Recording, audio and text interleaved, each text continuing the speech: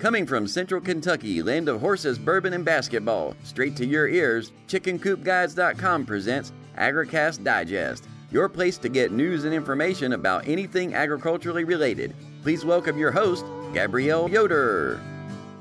Hiya, folks. Thanks for joining us for this week's episode of AgriCast Digest. I hope you're having a good day wherever you are. And I thought I'd share with you the gleanings from the news I've read recently this week. Dr. Mercola published an, an, article on his website about the avian flu, and I know we already talked about this a million times, um, but his opinion is that the antibiotics that they use in the factory farms creates resistant superbugs. I think I even mentioned that directly last week or the week before, and I totally agree. He notes that they use the antibiotics as a preventative instead of a cure, which is even worse. So you've got really sick chickens being forced to lay in horrible conditions with artificial light to control their laying in an unnatural way all of us backyard farmers should take note of this, especially in the wintertime when a lot of folks want to uh, use that artificial light to control the laying themselves. Now, he does know that there are 23,000 deaths a year from antibiotic resistant microbes. And how many of those are being exacerbated by the antibiotics folks are eating in their chicken and beef? Uh, the antibiotics that people are flushing down their toilets also gets into the water supply. There's runoff from factory farms. This is really something to think about um, a really good water filter, um, not a Brita, a water filter uh, would be helpful. Uh, it's not going to get everything out, but it usually helps. Um, there's a lot of ones on the market. Some people do the reverse osmosis thing. Uh, they do the whole thing through their house, and that's cool. Um, we have a Berkey, a British Berkefeld I'm not promoting, I'm not like selling them or anything, but we love it personally. We've had it for years and it lasts for years. That's one I know personally uh, works really well. Now, um, Mercola did mention that food producers use chlorine baths, irradiation, and pasteurization to fix our food and make it supposedly cleaner. So, if this is the case, how then do over 9 million people get sick from foodborne illnesses every year? It can't all be from improperly handled food on the consumer end. I'd say perhaps a quarter can be attributed to that from my own experiences working in kitchens when I was younger. I think most of it comes from the factory side. I mean, I don't want to gross anybody out here, but I remember back in Florida watching the migrant workers pull their pants down and hose the strawberries because they didn't feel like running to the porta john. Or they do worse, right there on the plants. And sure, okay, I suppose that's probably something our ancestors did, but ew, I mean, that's literally crapping where you eat. Almost every year, there were high instances of people getting sick from hepatitis and whatever else these, you know, folks had from people who attended the Strawberry Festival. Um, or people will get sick eating spinach. You shouldn't get sick eating spinach. You shouldn't be able to catch hepatitis from a strawberry. You also shouldn't have to lay eat eggs laid by sick chickens or eat a drumstick that's full of antibiotics. It messes with your gut flora, which is one of a myriad of reasons why I think people today are getting sicker and sicker. Um, but there's ways to fix it. You know, you, it's not all doom and gloom. Um, it's something that's really easy to fix. You just have to make sure you wash your vegetables, organic or otherwise, very well. Um, baking soda water is so easy to use. You just fill the sink up with water, you put your baking soda in, you put your vegetables in, it gets off most of what's in there. Um, or vinegar and water. But I use baking soda and water. Works really well. You wash all your veggies. You make sure, you know, because as long as you wash them, you're getting everything off.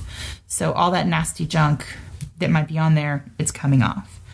Um, as far as the antibiotics goes and our water and our food, that's a little more difficult. Um, I mean, really just raising it yourself and eating it yourself is probably the easiest way. The second easiest is probably to get it from someone uh, nearby, a local farmer. Um, that's why I really support local sustained agriculture, especially here in Kentucky. They've got the ash free on everything. Everybody's like ash free, ash free, and everyone's like, "What's ash free?" And Ash free is uh, antibiotic, steroid, and hormone free. So look for that on a label. Um, and but speaking of vegetables, I was talking about vegetables a minute ago.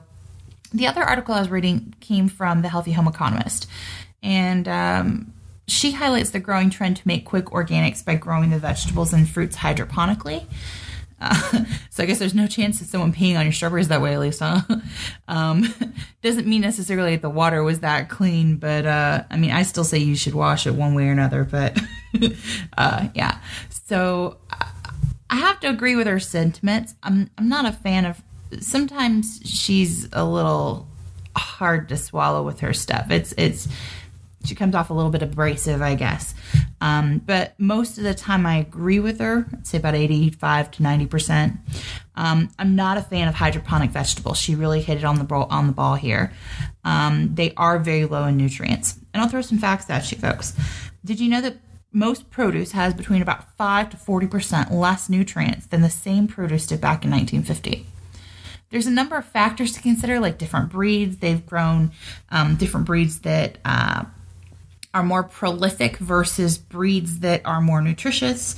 Um, but the biggest factor we really need to take into consideration is that we've taken so much out of our soil and we've put so little back into it. In fact, there's a fellow who specializes in this that I'm trying to get on the show, but I'll update y'all more about that later. Um, now, I noticed a long time ago when we first started eating organic vegetables about 10 years ago that there was a really big difference in taste be- between organic and non organic vegetables. Collard greens was really where I noticed it first. They weren't bitter. Now, we're Southern. I'm Southern at least. Um, my husband has Yankee parents, so I don't count him, but um, we ate a lot of collard greens growing up and we always had to put sugar or bacon. My grandmother, she always tossed a carrot in there and she said it soaked up the bitterness. Um, but these collard greens were naturally sweet. I could and I did eat them raw. We used them for wrapping up sandwiches, um, and, it, it, worked great. And I really grew curious about why this was, and I figured it was just that the lack of pesticides um, made it not bitter. I, you know, I thought less residue, but I, I, I'm pretty sure I was wrong. And we found out later that I probably was wrong. um, it's the whole way that the plant is grown.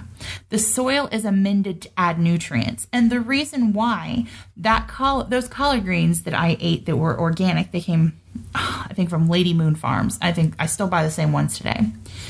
Um, but the reason that those collard greens did not taste bitter versus the ones that were grown even locally in, you know, bad conditions down in Florida. The reason why there were a dif- was a difference was the Brix levels, and I'll go into more about that in a second. Now, so when my husband and I first started our garden, our very first garden, very first house, we wanted to do it right. And I researched and I researched and I researched until I found an article on the Weston A. Price Foundation website about Brix levels. Now, plants that have a naturally high Brix or sugar level will not only taste sweeter, but they are more nutritious and they are naturally healthy. The plants are healthy to the point that they repel insects all on their own. And I remember Googling about how to raise the Brix levels, and back then I could only find articles from potheads. Um, apparently, they like their crops to be sweet too. Uh, it's a lot easier to find information now, but back then we kind of had to sort of wing it. So I took the article that I read about the Brix and I tried to deconstruct it as much as possible and took all of the information I could out of it. And we took that heavy Kentucky clay that we had to start with, which was wonderfully rich, and we amended it with topsoil and we put compost in the form of aged horse manure and we added bone, blood, and kelp meal to it and we kind of mixed all of this up and we tacked it all down with plastic to let it all marinate while it was still wintertime. And then the first thing in the spring, we ripped off the plastic. We probably should have left it on if we were smart and it would have controlled weeds better, but um, we started planting. Now, we'd occasionally foliar feed the growing vegetables. Foliar feeding is basically like a spray on fertilizer, if you will. So if you've never foliar fed, I definitely recommend it. But we didn't do it religiously. We only did it when we remembered to do it. So maybe once or twice a month. Um, maybe a total of four times in the whole growing season. Um, the only bug problems we really had were squash beetles. Um, but a healthy dose of wood ashes also got rid of them right away. So they went right away. We had zucchini that were the size of baseball bats and they were still tender. And the sweet potatoes were almost shooting out of the ground and they grew about as big as our heads. the plenty we had that year was amazing, and the years after too, because we continued to amend the soil and to foliar feed. Um, the weeds drove us insane, so I heartily recommend using black plastic and mulch as a way to control those. Um, or you can eat them, uh, but we could really only eat so many lamb's quarters and dandelions. And eventually, we figured out how to keep the weeds under control without having to resort to herbicides. Um, now, I want you to think for a minute, folks, about the difference between the junky, watery tomatoes you get in the supermarket and the fat, red, juicy tomatoes you can get at the farmer's market. Most farmer's markets, anyway. Some of them I found, they go down to Florida and Georgia and they buy a bunch of junk and they haul it back to wherever and it's green. And, and then, you know, by the time they get wherever they they're going, it's red. Um, you really need to get the stuff grown right nearby. There's like giant striped Germans and green zebras and purple Cherokees, you know, the ones that have the really cool names, the good ones. Eat one of those and then try eating some of the junk at the supermarket. There's just no comparison. It doesn't have to be labeled organic, but you want something that's been organically grown. In fact, I found the best stuff is the stuff that's been grown organically, but can't be labeled yet because they haven't hit that five or seven or however many years it is that they have to be um, certified as organically growing it. So you really get it cheaper that way, but it's the same nutrient value or better as organic. So you might look for that as well as in your meats if you don't, you know, grow your own cows on your own backyard or whatever. Uh, now, that doesn't mean just pesticides. It does mean that they have given the soil back something in order to get a good return themselves, and it pays off big time. There's a lot of different ways to do it. Some people say you should till it in. Some people say don't till anything at all because it messes up the microbiome biome or whatever. And I'm of two minds of it because I haven't done enough research on that. Um, one of the people I'm trying to get in on the show is actually a woman who specializes in permaculture. So we're going to see if we can hear from her re- sometime soon. Um, now, there was a ridiculous study done a couple years ago that tried to say that there was no nutritional difference between organics and conventional produce. And there's a lot of studies out there. You could get a study to say pretty much anything you want to if you grease the right palms. So if you're looking at those organic hydroponic tomatoes versus conventional hothouse tomatoes, then they're probably the exact same nutrient profile. And that study was probably correct if that's what they were looking at. It really all comes down to the way it's been grown, which doesn't mean necessarily an organic label. This makes it harder for us as the consumer to find that pearl of truth in the pig pen um, for what we don't grow ourselves, I always make a point to buy the Dirty Dozen organically. One thing a lot of people don't know is that the Dirty Dozen changes every year, so you have to keep on top of what's going on and not just assume that because apples are dirty now, that they'll be dirty next year. Um, I buy the Dirty Dozen organically, and the Clean 15 I will buy conventionally. Sometimes the selection is so small that I just buy what's available, period, and I wash it really well, or I prefer to get stuff that can be peeled. Um, and by the way, before I go to the Q&A section, I thought I'd mention that we got a comment from a listener who described me as sounding like this. Leave alone! Please! It gave me a real chuckle. I hope I don't sound like that. I'm just passionate about this stuff. I felt like my blinders fell off around 2006, and since then, I really see a whole different world, and I want other people to see it too. I don't want it to be all negative all the time, but sometimes you need a shock to get your head out of the sand, and I know that that's what it what did it for us. So right now, I want to go to the Q and A for today. Now, Hans Schmelzer, that is a fabulous name. That is such a cool name. Hans Schmelzer. He wrote to us because he read somewhere that chickens have been bred purely for looks and not to lay eggs. Um, he mentions the silver laced Wyandotte and asked if it's true if they don't lay eggs at all. I love the internet. You get some of the best stuff. And it's true that some chickens are bred more for their looks or for their feathers, especially think of Yokohamas when I think of ornamental breeds. Um, but all chickens, you know, the Yokohamas, by the way, are those ones that have the really long tail feathers. They look like they drag them along the ground. They're real prima donnas. They're pain in the butt to deal with. Um, but they're or- an ornamental breed. Um, but all chickens, being birds, they do lay eggs. It's just that some breeds lay more prolifically than others. The silver laced Wyandotte, by the way, they're actually known as a really good, dependable layer. They average about 200 brown eggs a year. Um, some of the other breeds known to be poor layers are Araucanas, which I've had some of those. They're they're really sweet, at least the ones we've had. Um, buttercups, Cochins, Cornish, Dorking, Hamburg, Lakenvelders, Orloffs, Sebrights.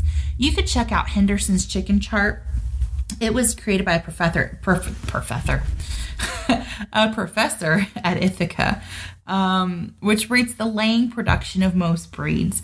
Now, don't forget other factors that will cause your egg production to vary, like the day length. We talked about that earlier with uh, keeping the lights on 24 hours. Um, the age and the health of your flock, disease, their diet, that's all going to affect their egg production too. Um, next question comes from Michelle. And this is another awesome question. I love these. I have a chicken who is laying shellless eggs. I make sure that they have oyster shell in the proper lay crumble and various scraps, leafy greens, watermelon, and fruit stuff. Are there nutrient are there nutrients that I should be adding to their diet? Thank you. Power to the chicken. First, you're awesome, Michelle. Power to the chicken indeed. I love it. Um, as for your egg problem, part of it could be from a layer who is too young or too old, which I covered in a previous broadcast. But let me dig a deeper for a moment. You are correct, Michelle, in pointing out that you offered ground oyster shell. Chickens need calcium to produce eggshells, and feeding oyster shell is one of the best ways to, ways to provide that. It doesn't spoil, it's inexpensive, it's easily absorbed, and it's palatable to the birds but make sure you're feeding it separately as a free choice, not mixed in with their feed. I do, I will admit, I will sometimes just toss it in with their feed, especially um, in the spring or fall when I know that the weather's fine and they're probably going to eat all of their food. Um, but if your birds are eating less because of hot weather or because of the too many treats, they're going to get less calcium if the oyster shell is mixed in with the feed. And some hens just need more calcium than others. Put it in a dish by your feeders and let them help themselves. They'll eat what they need, and it's it's your choice, but this is what we do. Um, another thing that can cause shellless eggs is too much salt in your water. Something else you may want to check out. Um, but this is the if this is the only hen that's having the problems, then you can pretty much rule those out as causes. It's not unusual for older hens or hens that are just starting to lay um, after a period of non laying, it can take some time for them to restart their internal system. Stress can be a possible cause for this too, um, but that would be a temporary thing. And the last thing to consider is disease. I mean, I'm assuming, of course, that you've already thought about if they're too young, too old, and what have you. Um, there are certain diseases that can affect the oviduct function, such as infectious bronchitis, mycoplasma uh, gallisepticum, uh, or it's called egg drop syndrome, EDS for short, that will result in shellless eggs. EDS um, causes apparently healthy birds to lay soft shelled and shellless eggs, and it's frequently at times of peak peak production. So it's caused by an adenovirus that is widely distributed in wild and domestic geese and ducks. So if you remember how we talked about trying to keep wild birds separate from the birds you have domesticated, um, that's another reason why. Um, free range birds are going to be most at risk for that, for obvious reasons. Um, layers of brown eggs, for some reason, are more prone to it than those white shell white shell egg layers. All eggs can be affected though.